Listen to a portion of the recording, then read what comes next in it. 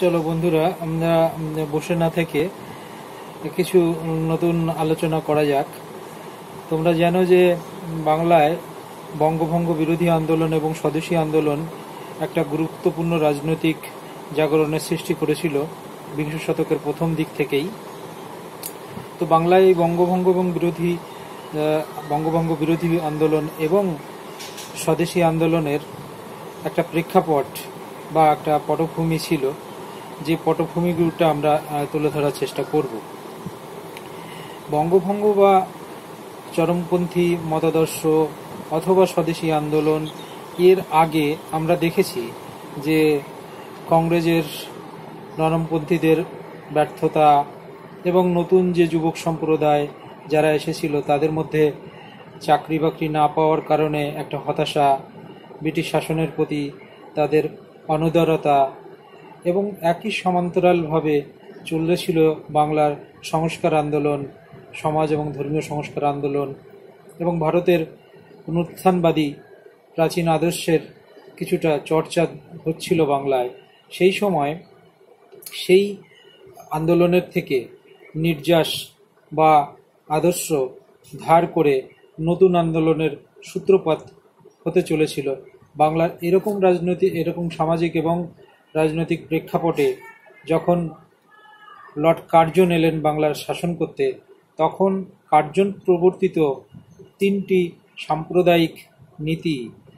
এই সময়কার সম্পূর্ণ রাজনীতি এবং সমাজ সংস্কৃতিকে কিছুটা পাল্টে দিয়েছিল, কিছুটা নাড়িয়ে দিয়েছিল। সেই তিনটে প্রধান ঘটনা আমরা আলোচনা করব।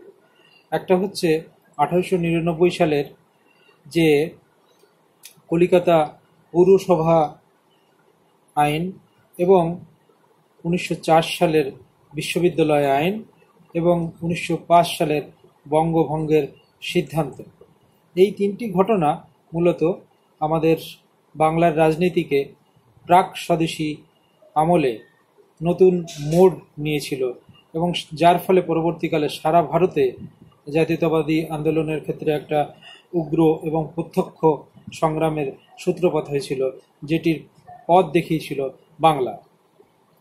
তো যাই হোক, এই আন্দোলন এর শুরুতেই যেটা ব্রিটিশদের ক্ষেত্রে লক্ষ্য করা গেছিল যে, বিংশ শতকের প্রথম দিক থেকে সারা বিশ্বে ব্রিটিশ সাম্রাজ্যবাদের মুখে একটা সংকট বা এক ধরনের এক ধরনের নিম্নগামিতা দেখা দিয়েছিল। কীভাবে?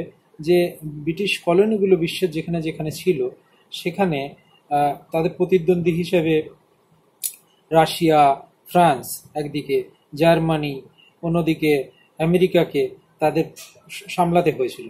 ফলে তাদের ভেতরে এক- একটা হীনমন্যতা বা তাদের তাদের সাম্রাজ্যের সংকট দেখা দিয়েছিল। সেই সংকট থেকে অতিক্রম করার জন্য তারা বিভিন্ন কলোনিগুলোতে নতুন ধরনের শাসন বা সংস্কারের চিন্তা ভাবনা করেছিল।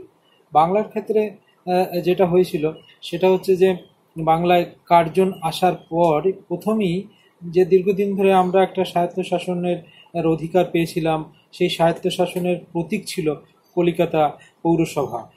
এই কলকাতা পৌরসভার যে আইন, সেই আইনটা আঠারোশো নিরানব্বই সালে কার্জন নতুনভাবে সংস্কার করলেন এবং নতুন আইন প্রবর্তন করলেন। সেখানে প্রতিনিধির সংখ্যা একশো থেকে পঞ্চাশে কমিয়ে নিয়ে আসা হলো।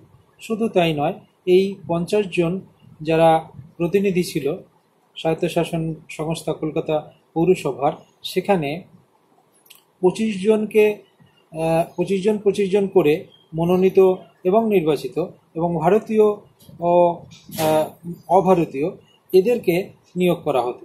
কিন্তু যেটা সবথেকে সব, সবথেকে মারাত্মক এবং অদ্ভুত ছিল, সেটা হচ্ছে যে বারো জনের একটা কমন সভা ছিল। সেই কমন সভায় মাত্র চারজন ভারতীয় নিয়োগ হবে এবং এই প্রতিষ্ঠানের উপরে থাকবে একজন ইউরোপীয়। তোমরা জানো যে এই প্রতিষ্ঠানের মাধ্যমে যে আইন প্রবর্তিত হবে সেটা কার্যকারী করার জন্যে লাস্ট ছাড়পত্র দেবেন ওই কমন সভা। ফলে সমস্ত ব্রিটিশ শাসনের পরিপন্থী হবে সে ধরনের আইন কিন্তু সেখানে চালু করা হতো না। ফলে এই কলকাতা পৌরসভা আইন, যেটা অন্যান্য পৌরসভাগুলোতেও চালু হতো, মফস্বলের পৌরসভাগুলোতে, সেটাকে ব্রিটিশ আমলাতান্ত্রিক প্রতিষ্ঠান হিসেবে বিরাজ করে। এই একটা দিক। দ্বিতীয় দিক হলো উনিশশো চার সালের বিশ্ববিদ্যালয় আইন। এই উনিশশো চার সালের বিশ্ববিদ্যালয় আইনে যেটা করা হয়েছিল, সেটা হচ্ছে যে প্রথম অবস্থায় প্রাথমিক শিক্ষাকে শিক্ষার প্রসারতার দিকে তারা এগোয়নি। উচ্চশিক্ষার সম্প্রসারণ এবং উচ্চশিক্ষার ক্ষেত্রে যে কারিগরি শিক্ষা প্রদান করা, সেটা দেওয়া হয়নি। তৃতীয়ত শিক্ষার মাধ্যম যে মাতৃভাষা, সেই ভাষাকে তুলে দেওয়া হয়েছিল। তুলে দিয়ে সেখানে শুধুমাত্র ইংরেজি শিক্ষা প্রবর্তন করা হয়েছিল। ফলে প্রাথমিক শিক্ষা একটা নড়বড়ে পজিশনে ছিল। কার্জন প্রথম অবস্থায় উচ্চশিক্ষার কিছুটা উন্নতি করার চিন্তাভাবনা বা প্রকাশ্যে সেটা বলতেন। কারণ তখনও পর্যন্ত বিশ্ববিদ্যালয়গুলিতে স্নাতকোত্তর পড়াশোনা হতো না। সেই জন্য উচ্চশিক্ষার সংস্কারের কথা তিনি বলেছিলেন। কিন্তু যেটা দেখা যায় যে সিমলাতে তিনি যখন উচ্চশিক্ষা সম্মেলন করলেন, সেই উচ্চশিক্ষা সম্মেলনে কিন্তু কোনো ভারতীয়দেরকে প্রতিনিধি হিসেবে ডাকা হলো না। ফলে সেখানে যে সিদ্ধান্ত গ্রহণ করা হলো, সেটা মূলত ঔপনিবেশিক শাসন, শাসনের সাহায্যকারী শিক্ষা যে ব্যবস্থা, সেটাকেই ছাড়পত্র দেওয়া হলো। এবং বিশ্ববিদ্যালয় আইনের মাধ্যমে যেটা করা হলো, কলকাতা বিশ্ববিদ্যালয় এর যে সেনেট সেই সেনেটের সদস্য সংখ্যা একশো ছিল। সেই সদস্য সংখ্যা চুয়ান্ন জনকে গভর্নর সরাসরি নিয়োগ করবেন, বড়লাট নিয়োগ করবেন মানে মনোনীত করবেন। আর সিন্ডিকেট যেটা ছিল, সেই সিন্ডিকেটের উপরে দায়িত্ব দেওয়া হলো যে মফসলের যত কলেজগুলো, সেই কলেজগুলোর অনুদান দেওয়া, সেই কলেজগুলোর দায়িত্ব কি থাকবে এবং সেই কলেজগুলোর ক্ষমতা কেড়ে নেওয়া, এই সমস্ত বিষয়গুলো সিনেটের উপরে দেওয়া হলো এবং সিনেটের অধিকাংশ সদস্যরা মনোনীত হবেন এবং ব্রিটিশদের কথা মতোই চলবেন, এরকম করা হলো। ফলে বিভিন্ন জায়গা থেকে এই ইউনিভার্সিটি আইনের মাধ্যমে আইন আইন আইন প্রবর্তিত হলে তার একটা প্রতিবাদ শুরু হলো। এই প্রতিবাদটা শুরু হলো এই কারণেই যে উচ্চশিক্ষাকে আরও বেশি সংকীর্ণ করে তোলা হচ্ছে, আরও বেশি, বেশ- বেশি ব্রিটিশ শাসনের প্রখা- মুখাপেক্ষী করে তোলা হচ্ছে। ফলে গোখলে বললেন যে এই উনিশশো চার সালের বিশ্ববিদ্যালয় আইনের মাধ্যমে বিশ্ববিদ্যালয়গুলিকে একটা সরকারি প্রতিষ্ঠান হিসাবে গণ্য করা হচ্ছে সুতরাং দুটো আইন আমরা দেখলাম। এই দুটো আইনেই তারা আমলাতান্ত্রিক যে কাঠামো এবং আমলাতান্ত্রিক প্রশাসন সেখানে চালু করার চেষ্টা করলেন, যেটা আমরা এতদিন ধরে স্বায়ত্তশাসনের অধিকারের মাধ্যমে স্বশাসিত প্রতিষ্ঠানগুলো যেগুলো তৈরি হয়েছিল, সেখানে ভারতীয়দের কথা ভাবা হতো, সেটাকে তিনি আঘাত করলেন। এই সময়ে যেহেতু বিভিন্ন পত্রপত্রিকাগুলো ব্যাপকভাবে সমালোচনা করতো, সেই পত্রপত্রিকাগুলোর, গুলো, গুলোর কণ্ঠরোধ করার জন্যে অফিসিয়াল সিক্রেট অ্যামেন্ডমেন্ট অ্যাক্ট পাশ করা হলো যেখানে বলা হলো যে যে সরকারের কোনো সামরিক বা অসামরিক যে সমস্ত গুপ্ত সংবাদগুলো, সেই সংবাদগুলো যে সমস্ত পত্র, পত্রিকা প্রকাশ করা হবে, তাদের বিরুদ্ধে দণ্ডবিধান করা হবে। আসলে কার্জনের উদ্দেশ্য ছিল যে আমলাতান্ত্রিক শাসন প্রবর্তন করা এবং কোনোভাবেই যেন সেই আমলাতান্ত্রিকদের নীতি বা নীতি বা কার্যক্রমের সমালোচনা না ওঠে। কার্জনের এই দৃষ্টিভঙ্গি একটা বিরূপ একটা মনোভাব সৃষ্টি করেছিল। সেই সময়কালের আমাদের জাতীয়তাবাদী আন্দোলনের, আন্দোলনকারী শিক্ষিত বর্গের মধ্যে। তো এর পরবর্তী পদক্ষেপ যেটা ছিল সেটা সব থেকে গুরুত্বপূর্ণ, সেটা হচ্ছে উনিশশো পাঁচ সালের বঙ্গভঙ্গের প্রস্তাব। এই বঙ্গভঙ্গের প্রস্তাবক কিন্তু লর্ড কার্জন ছিলেন না।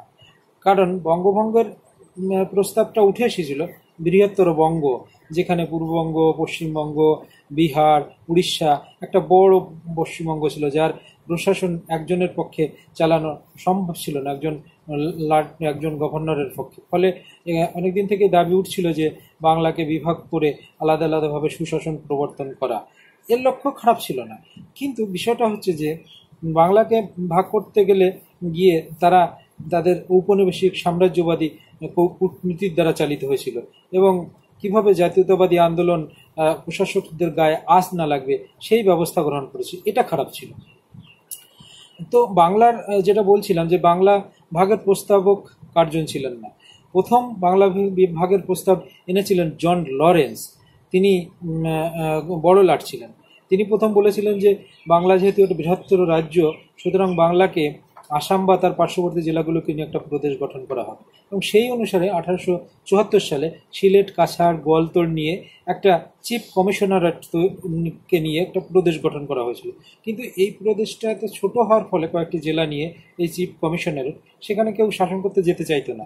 তার কারণে উনিশশো ছিয়ানব্বই সালে এই চিফ কমিশনারেট উইলিয়াম ওয়ার্ল্ড ইনি দাবি করেন যে এই এই কয়েকটি জেলার সঙ্গে আরও কয়েকটি চট্টগ্রাম এবং ময়মনসিং আসামের সঙ্গে যুক্ত করে আলাদা প্রদেশ গঠন করা হয় এবং সেই প্রস্তাব কিন্তু প্রতিরোধ করার কারণে বিভিন্ন রকমের প্রতিবাদী লেখাপত্র আসার কারণে প্রচারের মাধ্যমে কার্যকর হয়নি। উইলিয়াম ওয়ার্ডি পরে আবার আর একটা প্রস্তাব করেন উনিশশো দুই সালে যে মধ্যপ্রদেশকে মধ্যপ্রদেশের সঙ্গে সম্বলপুর এবং গঞ্জমকে যুক্ত করে দেওয়া। তাহলে বাংলা, বাংলার একটু ছোট হয়ে যাবে। এবং উনিশশো তিন সালে যেটা সব থেকে গুরুত্বপূর্ণ প্রস্তাব ছিল, সেটা করেছিলেন রিজলে।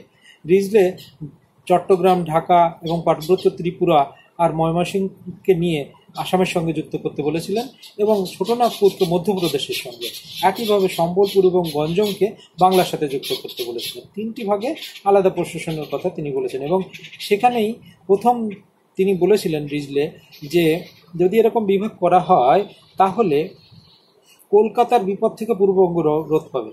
এবং যাদের, যারা এতদিন পর্যন্ত নিষ্পেষিত মুসলিমদের প্রতি ন্যায় বিচার দেওয়া হবে এই যে তার বক্তব্য, এই বক্তব্যের মধ্যে অমলেশ ত্রিপাঠী বলছেন যে, এখানেই আমরা প্রথম সাম্প্রদায়িকতার সুর পেলাম। অর্থাৎ সাম্প্রদায়িক চিন- চিন্তাভাবনা কিন্তু এখানে তিনি পেলেন। এবং সেই বৃহত্তর জনস- জনসংখ্যার পরিপ্রেক্ষিতে অনেক বড় ভূখণ্ড শাসনের যে তত্ত্ব, সেইটা থেকে উল্টে সাম্প্রদায়িক তত্ত্বের দিকে তারা বা সাম্প্রদায়িক লক্ষ্যের দিকে তারা এগিয়ে গেলেন। প্রশ্ন হলো যে হিন্দি এবং উড়িয়া ভাষীদেরকে বাংলা থেকে যদি আলাদা করে শাসন করার ব্যবস্থা করা হতো, সেটা ভালো ছিল। কিন্তু বাংলা থেকে বাঙালিদেরকে আলাদা করে বঙ্গ বিভাগ করা হলো। এখানে লুকিয়েছিল যে একটা বঙ্গ বিদ্বেষী বা বাঙালি জাতীয়তাবাদ, বিশ্বাস বিদ্বেষী মনোভাব এবং বাঙালি যে আইসিএস বা বাঙালি আমলারা, তাদের প্রতি ইংরেজ আমলাদের একটা দ্বন্দ্ব ছিল। এখানে সেই দ্বন্দ্বকে কাজে লাগিয়ে তারা বঙ্গ বিভাগ চেয়েছিলেন এবং কার্জন সেটাই কিন্তু করেছিলেন। এবং তিনি লরেন্স ওয়ার্ল্ড, তারপরে ফ্রেজার, রিজলের এই প্রস্তাব অনুসারেই বাংলা ভাগের সিদ্ধান্ত নেন এবং উনিশশো পাঁচ সালের উনিশে জুলাই ঘোষিত হলো যে উনিশে জুলাই ঘোষিত হলো যে ষোলোই অক্টোবর বাংলা ভাগ ভাগ শুরু হবে এবং তার ব্যাপক প্রতিবাদ হিসাবে কিন্তু বঙ্গভঙ্গ আন্দোলন শুরু হলো এবং উনিশশো পাঁচ সাল থেকে উনিশশো আট সাল পর্যন্ত বাংলায় প্রথম দিকে বঙ্গভঙ্গ বিরোধী আন্দোলন, তারপরে বয়কট এবং তারপরে স্বদেশী আন্দোলন চলল। যেখানে আমরা লক্ষ্য করি যে যে প্রশাসনিক উদ্দেশ্য তার প্রধান ছিল কার্জনের। কিন্তু আসলে তিনি চেয়েছিলেন যে বাংলার ঐক্য যাতে বিনষ্ট হয় এবং যেহেতু প্রতিষ্ঠানগুলোতে প্রতিনিধি প্রেরণের ক্ষেত্রে ঐক্যবদ্ধ বাঙালিরা বেশি পরিমাণে প্রতিনিধি প্রেরণ করার দাবি রাখতে পারত, সেই ঐক্যবদ্ধ আন্দোলনটাকে ধ্বংস করে দেওয়া এবং ওই প্রতিনিধি প্রেরণের যে প্রবেশদ্বার সেটাকে রদ করা। তার জন্য তিনি সাম্প্রদায়িক নীতি গ্রহণ করেছিলেন। এই যে যে বৃহত্তর পরিপ্রেক্ষিতে তিনটি প্রধান ঘটনা বাংলা রাজনৈতিক চরিত্রকে পাল্টে দিয়েছিল এবং সেই প্রতিবাদী প্রত্যক্ষ সংগ্রামের মধ্য দিয়ে কিন্তু বিষ বপিত হয়েছিল এই চরমপন্থী সংগ্রামী আন্দোলনের। Thank you